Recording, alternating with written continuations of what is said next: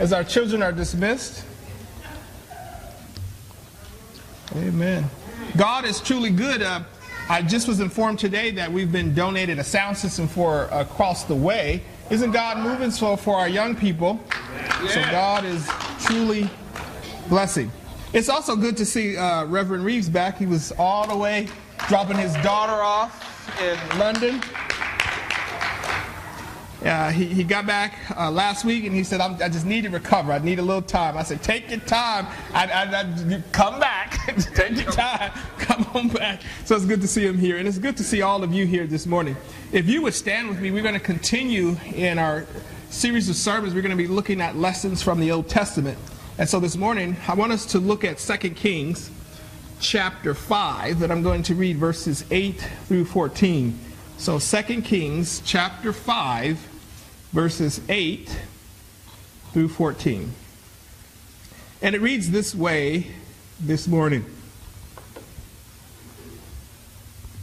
And so it was when Elijah, the man of God, heard the king of Israel had torn his clothes, that he sent to the king, saying, Why have you torn your clothes? Please let him come to me, and he shall know that there is a prophet in Israel. And then Naaman went with his horses in chariot, and he stood at the door of Elisha's house. And Elisha sent a messenger to him, saying, Go and wash in the Jordan seven times, and your flesh shall be restored to you, and you shall be clean. But Naaman became furious and went away and said, Indeed, I say to myself, he will surely come out to me and stand and call on the name of the Lord his God and wave his hand over the place and heal the leprosy.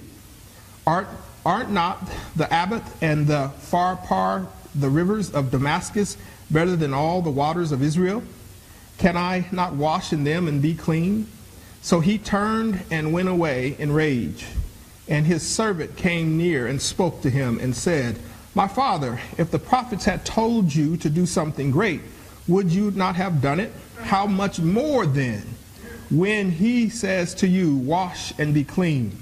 So he went down and dipped seven times in the Jordan, according to the sayings of the man of God, and his flesh was restored like a little child, and he was clean. Amen. Let us pray.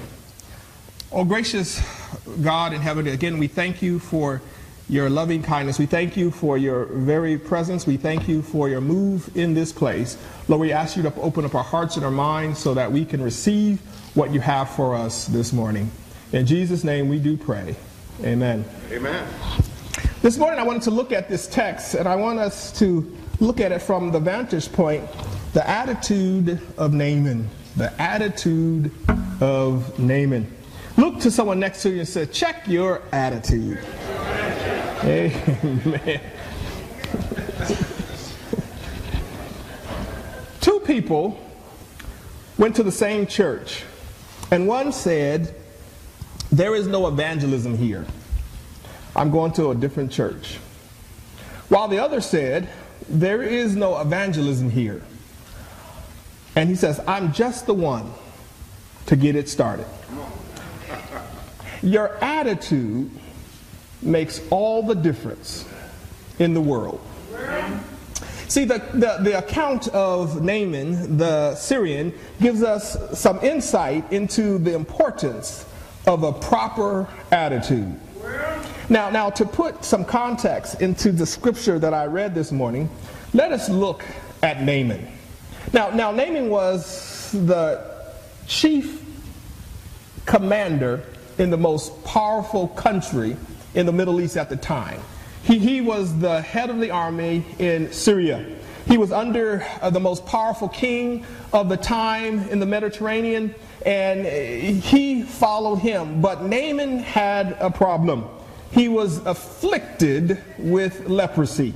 Now, now leprosy is a very horrible disease. Even uh, uh, back then, it was, it, it was seen as a death sentence. You see, leprosy was a slow, progressive, stubborn disease. And it was characterized by lumps under the skin, and you would scar, and the person where the leprosy was would lighten up. And, and, and as the disease progressed, it caused the loss of fingers and toes. They would literally just drop off. Now, uh, in Naaman's house, there, there was an Israelite servant who served Naaman's wife. Now, if, if, you understand what was going on in previous in the text, it, it talked about how the Syrians, the most powerful country at the time, was uh, very strong, and they would send raiding parties into Israel. And at these raiding parties, they would take the women back to Syria. And it was one of these um, um, Israelite women who was um, taken from the Syrians, and there was working for Naaman, who was the chief officer in the Syrian army. And she said, There's a prophet in Samaria that could heal your husband. And, and, and, the woman gets excited, and, and Naaman gets excited. And if you understand the context, this Samaritan woman was an Israelite. And the reason why it's called Samaria in some translations is because there was a civil war with the Israels, Israelites. And, the, the war happened as you have the northern, which was the Syrians, I mean the, the um, Sumerians, and you had the southerners, who were sort of the Judeans. And, and, and these two uh, particular people didn't like each other. And, and, so when they were invading into these places, they would take these women, and the women would go out and, and they would be their servants. And so this Sumerian Israelite woman was working for Naaman, the most powerful commander in chief of the most powerful army in the world at the time, told a Naaman's wife, Hey, there is someone who can heal you in Samaria. There's someone who can heal you in Israel. And, and when uh, Naaman got a hold of this, he, he went to his king, the most powerful king in the region at the time, and he says, You have to send me over there so I can be healed of leprosy. And, and the king says, I'll send you with a letter. And not only will I send you with a letter, I will send you with gold and, and all kinds of things that you could give tribute to the king of Israel. And when the king of Israel received the letter from uh, this uh, Naaman as kings, um, he, he begins to get nervous because the most powerful country in the region at the time sends a letter to Israel. And, and the Israelite king, he opens the letter and he says, This king is trying to start something. He's asking me to heal somebody that there's a death sentence. How am I going to heal this man of leprosy? And so he tears off his clothes clothes. He didn't know what to do. And, and, and then Elisha hears about the circumstances that the king finds himself in. And, and Elisha basically says, Send him to me. I will take care of him. And then they will know that there is a prophet in Israel. And that's where we pick up this text where we have Naaman standing at the door of Elisha. Now, if, we look closer at the text, we will notice the different attitudes of, of Naaman, the Syrian, in, in this text, and it will supply us some lessons that we could live by. Now, the first type of attitude we see in this text from Naaman is the I thought attitude. If you look at verse 11 again, it says, But Naaman became furious and went away and said, Indeed, I say to myself, He will surely come out to me and stand and call on the name of the Lord, his God, and wave his hand over the place and heal the leprosy.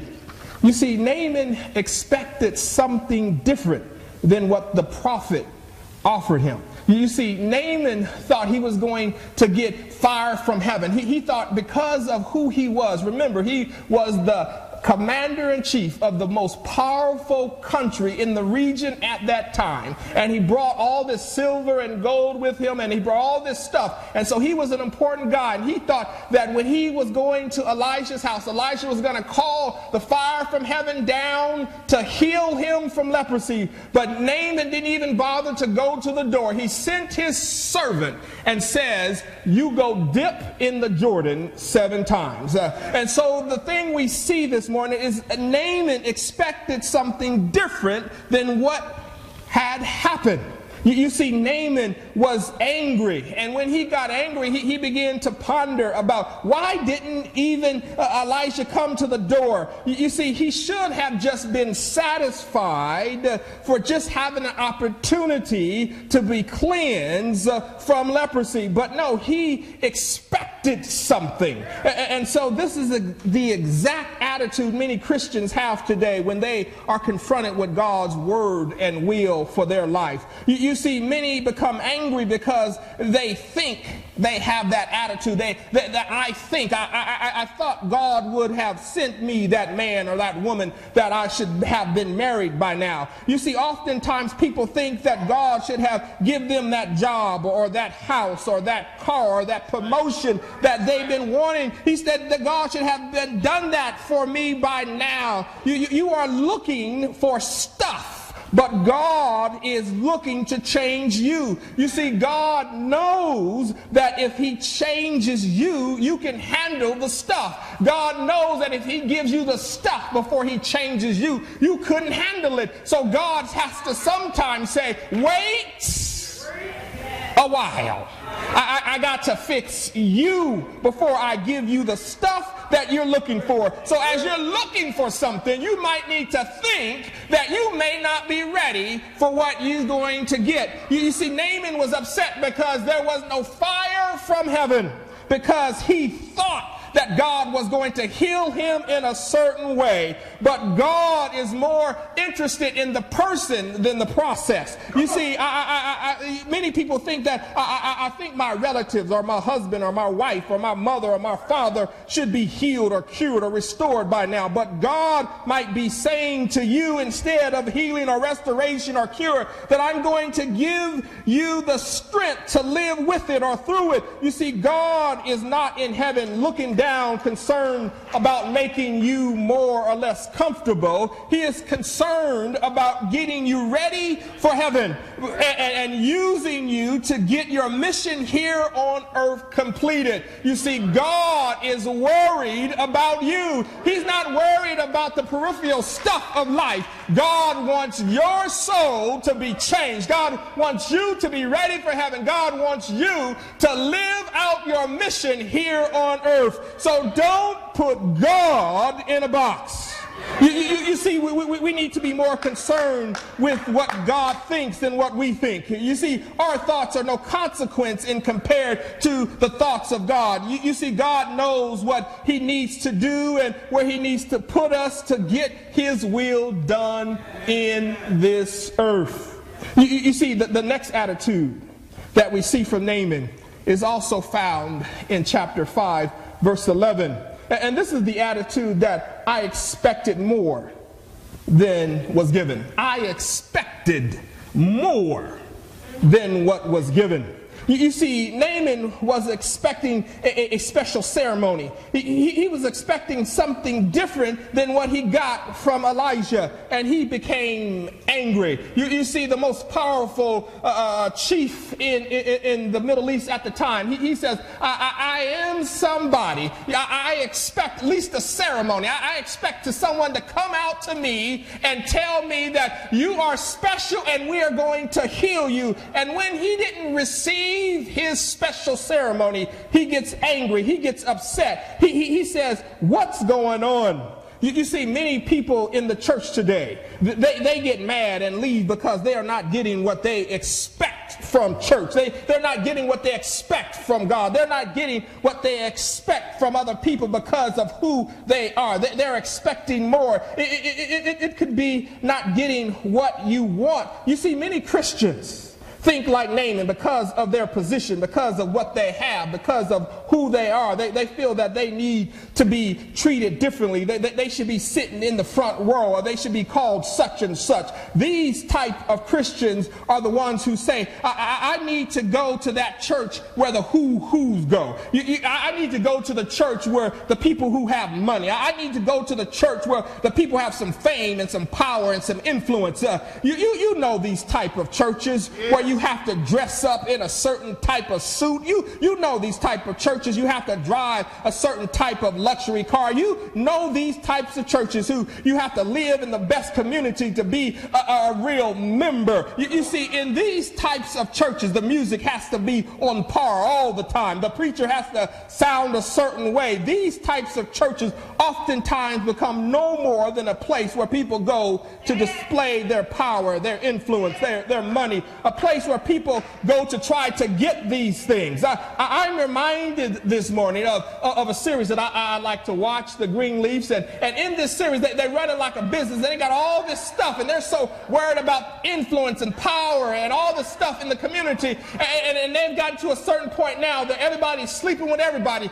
and there seems to be no consequences in the church. You see, that's the kind of church that God is not looking for. You, you, you see, the, the type of church Oftentimes, people think that God uh, has to give them something special because of what they have. But you, you know what? The kind of church God is looking for, the kind of church that God is looking for is one that is not overly concerned with its power and influence in the community, but it's concerned with saving the lost, comforting the uncomfortable, encouraging the discouraged, feeding the hungry. That's the kind of church God is looking for, the kind of church who goes out and reach the needs of the people. It's not about who you are because of what you have. We, we, we, don't, we shouldn't be expecting God to do something special for us because God already has given us his only son, Jesus the very Christ.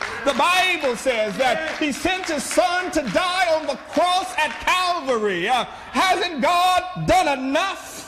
But there are some people who say, I expect more from God. We, we, we also see in this text that Naaman thought that something greater would have happened in the process of his healing. He, you see, uh, Elisha said, just go out and dip your foot in the Jordan. And so Naaman thought, hey, uh, there has to be more to it than this. But, but, but the greater event could have uh, not occurred unless he obeyed what Elisha told him to do. You, you, you see, the greatest uh, miracle was the healing, and, and he was looking for the process. But Jesus is telling us that we, we need to be concerned with salvation. You, you see, the text lets us know that which was greater was already there, but he had overlooked it because he was looking for something else. You, you, you see, many people today are expecting something greater out of religion. And religion is just simply uh, man's interaction with the divine. You see, many people are looking for money or houses or cars or land from God. They're looking for a blessing. They, they go to these churches and say, God has to bless me. God has to heal me. God has to give me stuff. But we, and we're looking for more from God, while, while others are looking for some esoteric experience, speaking in tongues or, or, or being slain in the spirit, or, or, or some people even want an angel from heaven to come down and to speak to them personally. But the good news this morning is that God has given us uh, the miracle of Jesus Christ. The, the, the, greatest of all is the forgiveness of our sin. We, we, what more are we looking for? The greatest thing at all is that we have a home in heaven. What more could we be expecting from God? You see, the greatest thing is that God puts us in a community where we have fellowship what more are we looking for? Are we looking to be entertained Sunday after Sunday? Are we looking to be connected to God? You see, that is where the real miracles come from. You see, just like Naaman, he was expecting stuff, but God was expecting a change in his heart. You see, God is getting us ready for heaven and to live out his plan for us. So, so, so, so we, we have to get rid of that attitude of putting God in a box. Don't put God in a box because you don't know how He's going to give you your blessings. You, you, don't know how God is going to bless you this morning. You, you see, oftentimes I, I look at the church and I say, God, where is the blessing? Where, where, what's going to happen here? What's going to, and God says, hold on, wait a minute. Don't put me in a box. Don't tell me how I should bless you. You just wait and God will bless all of us as he sees fit. Don't put God in a box. Now, now, now, the next type of attitude we see in Naaman is found in verse 12, which is the attitude, I would rather do something else. I would rather do something else. You, you, you see, if, if, you look at verse 12 again, it says, Are not the Abba and the Pharpar, the rivers of Damascus, better than all the waters of Israel? Could I not wash in them and be clean? He turned and went away in anger or rage. And, and, so this tells us he, he was trying to even go back to the past. He, you see, Damascus, that's where Syria was, the rivers of Syria. He says, I, I could have did this when I was at home. Why, why did I have to come all the way to Israel to get a blessing? You see, sometimes when we're waiting on God, we will go back and try to do it our way. We, we would try to go back to where God has brought us from, and we will expect a miracle. You see, God needs to move us away from our sins and then put us in a new place and don't look back. I, I, I, I spent some time with a friend yesterday, and, and he had some he, he had some alcohol problems, and he kicked the habit. And then yesterday, I just seen some just broke my heart. It's just like you're going back in the same direction in which God has delivered delivered you from. You, you need to keep pushing forward. Don't, don't look back.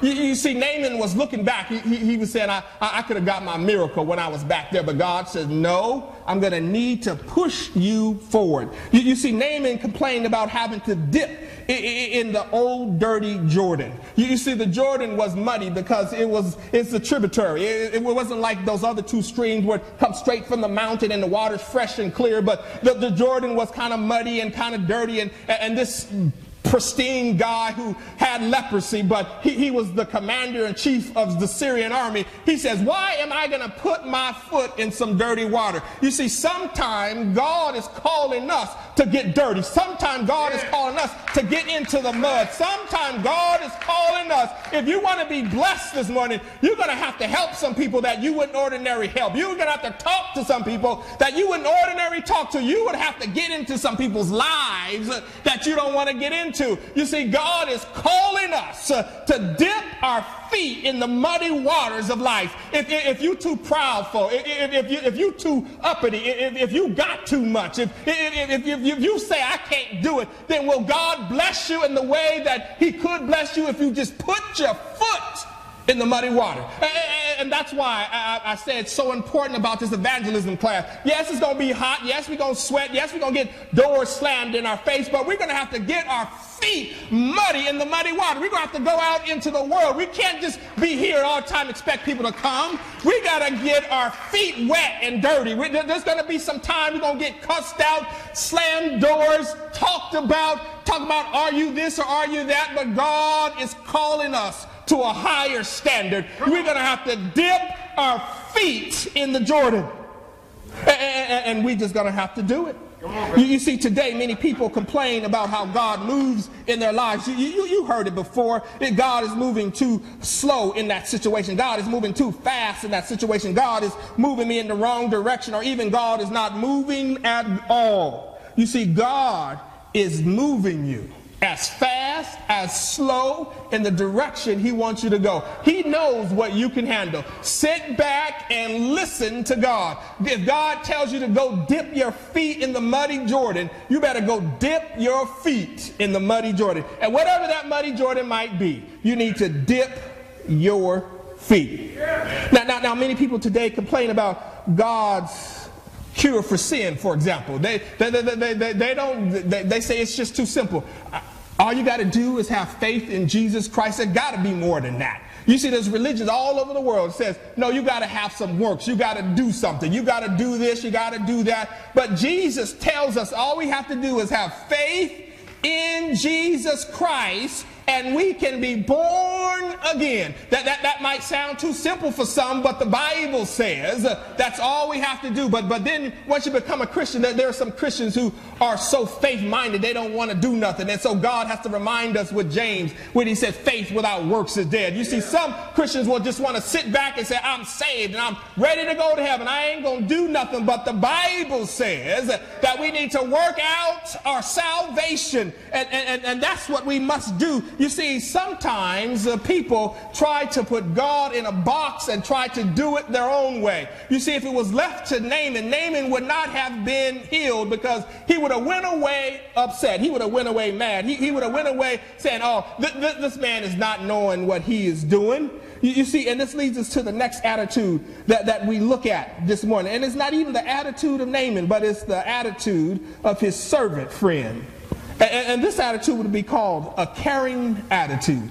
A caring attitude. If, if you look at verse 13, it says, And his servant came near and spoke to him and said, My father, if you're the prophet, excuse me, my father, if the prophet had told you to do something great, would you not have done it? How much more then when he says to you, Wash and be clean?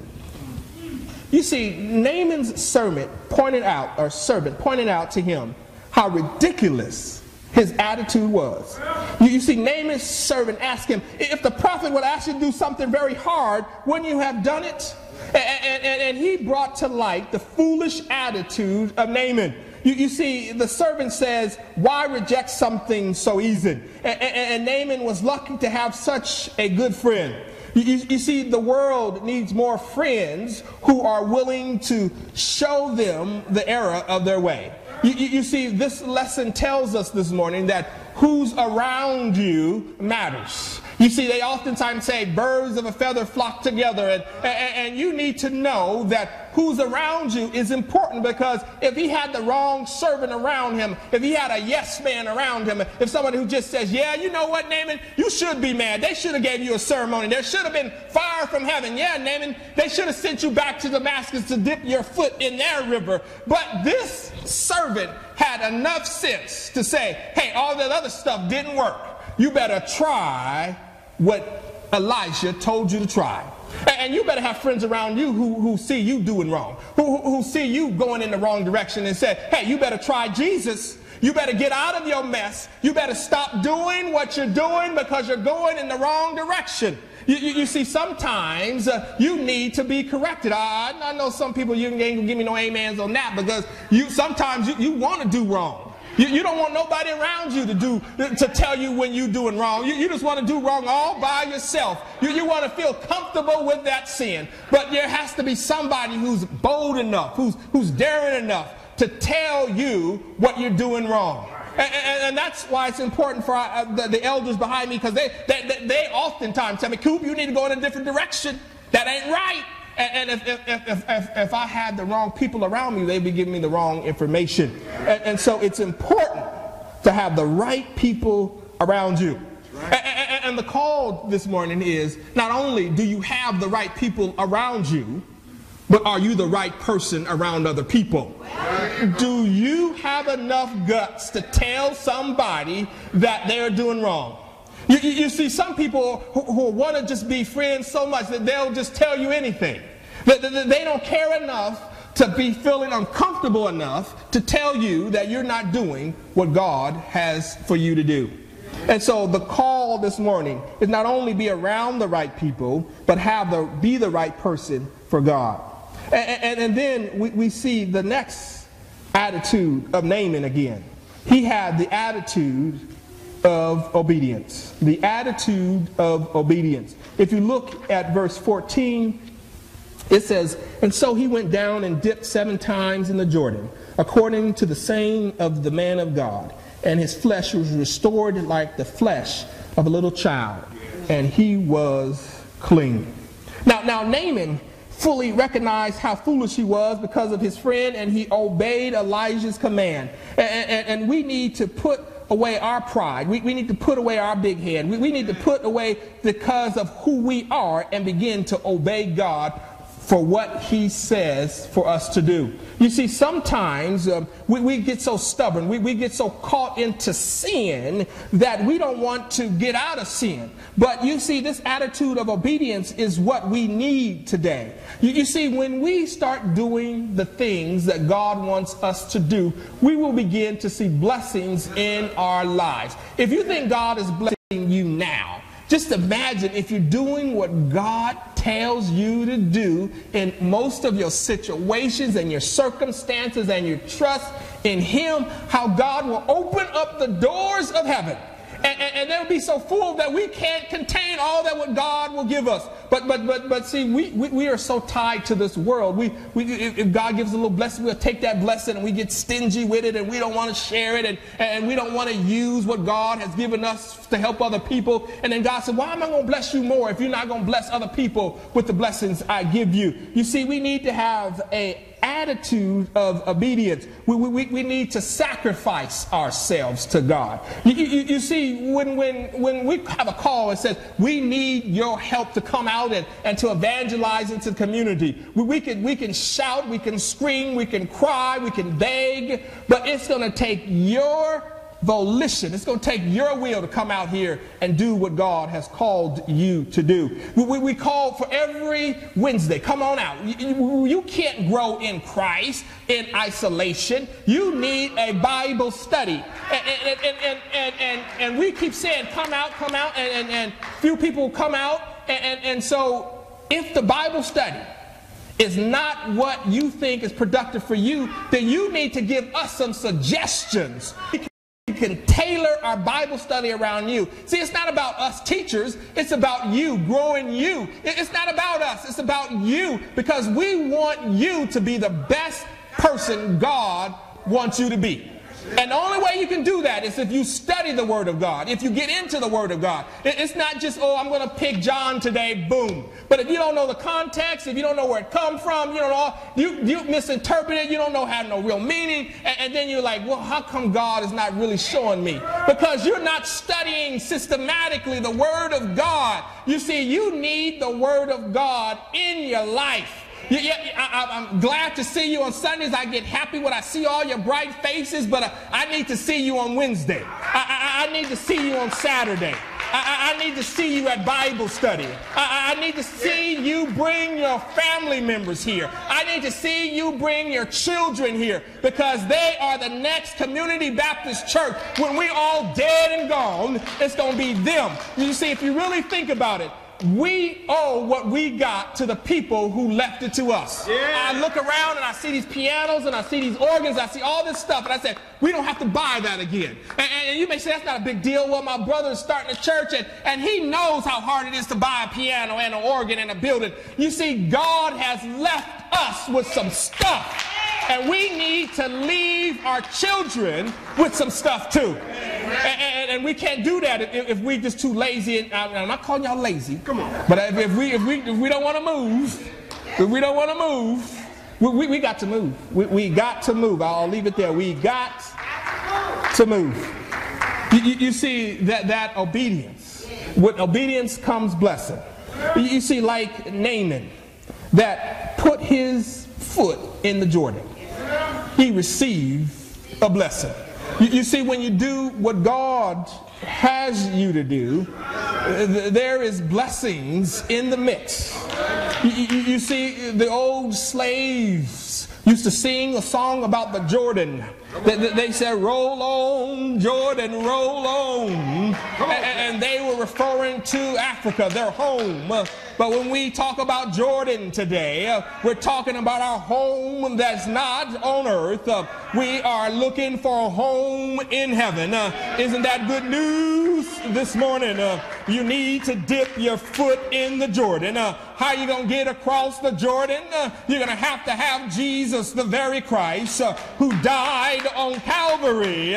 Calvary, he hung as he did, but they tell me he died on the cross, uh, but on the third day he rose again. Uh, isn't that good news yeah. this morning uh, that we serve a risen Savior with all power in his hands? Uh, and that is a good news this morning. Uh, dip your feet in the Jordan. Uh, if you don't know how, let me tell you how. there is a man named Jesus. he will guide you through the Jordan until you make it to your home. isn't that good news? this morning? Uh, if you fall, uh, Jesus is there to catch you. Isn't that good news I dare you to go across the Jordan because your home is in heaven. Isn't that good news this morning? God is there with you. God is good. God is good. I dare you to say God is good this morning. If God has been good in your life, I dare you to stand up and say hallelujah. Hallelujah. God is good. Isn't God good? Isn't God good? God is good. God is good this morning. God is good. God is good. God is good. God is good this morning. God is good.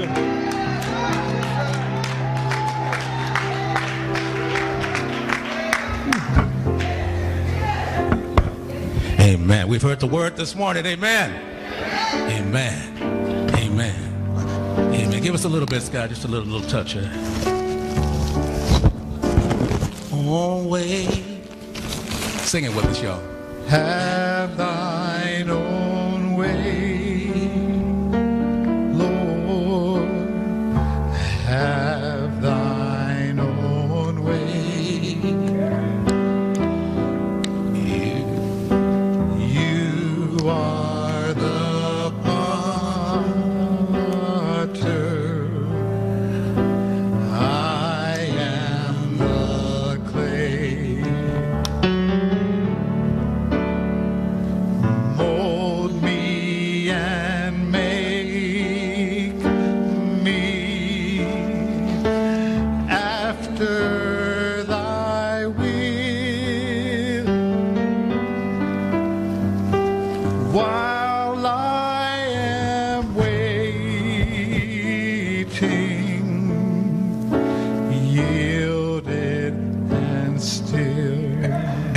Plays softly, let, let, let me remind you something. We stood here last week praying. Who would have thought in Las Vegas at a country music concert that we would have the, that destruction like that that we've never had in our history before, right? You, you might expect that at a rock concert or maybe even a rap concert, right? At a country music. Man. Anyway, we're here today. We didn't come here this morning just to sing a few songs and hear the preacher talk. This is not business as usual. Somebody needs to accept Jesus Christ today as their Lord and Savior because today is the day of salvation.